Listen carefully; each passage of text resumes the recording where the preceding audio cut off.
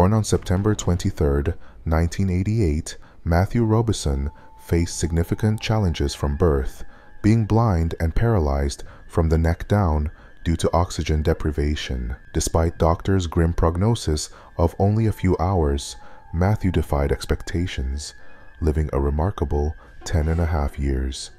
When Matthew passed away in 1999, his dad decided his gravestone should depict Matthew in his truest form and signify hope rather than grief.